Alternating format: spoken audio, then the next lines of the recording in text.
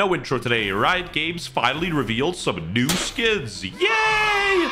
But unfortunately, you know, we use the term new very lightly as, uh, you know, these are a 2.0, but, uh, you know, it could always be worse. It could be a 3.0. As the only Valorant creator who got banished to the Shadow Realm and not invited to any early access, I could give you the objective truth and all the secrets. And I mean, all this is is the same exact Sentinels of Light we had. I don't even think they changed the, the animation. Uh, let me check for you guys. Boot it up, Jamie.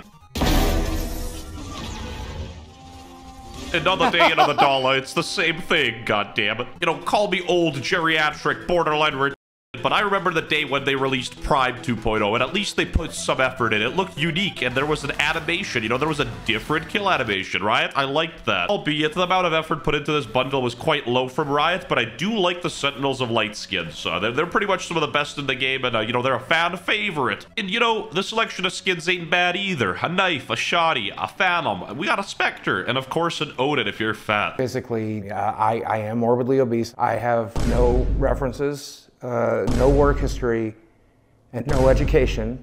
So the bundle comes in at 8,700 Valorant points, and uh, quite frankly, 87 American dollars is a little too much for this trash. You could buy this trash, or you could buy 20 Wendy's 4 for 4s and still have money left over. Like, Riot's charging a little too much for skins they created in 2020. And you know I'm a D1 hater, but, uh, you know, Sentinels of Light is actually a good skin bundle, but, uh, you know, put some effort in, please. Why fix what's broken, I guess, is Riot's mentality. You know, if the variants are good, if people are buying them, why fix it? The best analogy analogy I could give is this. I used to actually enjoy and look forward to Valorant bundles, but now they're Valorant's essentially Kanye West, oversaturating the market with Yeezys. It's the skins are losing their value. Usually I don't like dual wields, but there's something good about this one, guys. There's light at the end of the tunnel. You know, I, I went from a hater, I turned into a fan. This is unique. You know, new animation, very poggers. They even got the Barbie variant for all the fat e-girls, and they got the Oppenheimer variant for all the Sigma males.